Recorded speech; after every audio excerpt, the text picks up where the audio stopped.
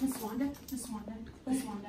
I sold a bunch of fundraising stuff. When are my prizes coming? I want to know. I sold. I don't know. I'm busy looking at last year's yearbook. Priorities, priorities, Miss Wanda. I don't know. I need my prizes. I sold a lot of stuff. oh my gosh. Guess what? What? Look behind you. They're here. They're here. Prizes The prizes are here. Fundraiser prizes look, are here. Fundraisers. Oh my gosh. Oh, Look, wait a here. minute. Oh, Where, are they getting oh my gosh. Miss Wanda's gonna come around and deliver all the fundraiser prizes for all of you awesome kids who sold those items and you get everything, your coops and all of your prizes tomorrow, teachers. So you're gonna get your prizes today, your coops and all of those awesome prizes. Miss Okay. Wanda's gonna come around to each grade level teachers. But guess what?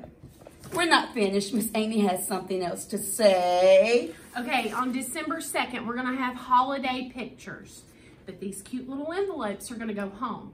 If you want your holiday picture made, give these to your parents and they can send it back and then we'll get your holiday pictures made. If you don't have this envelope, you don't get your picture made.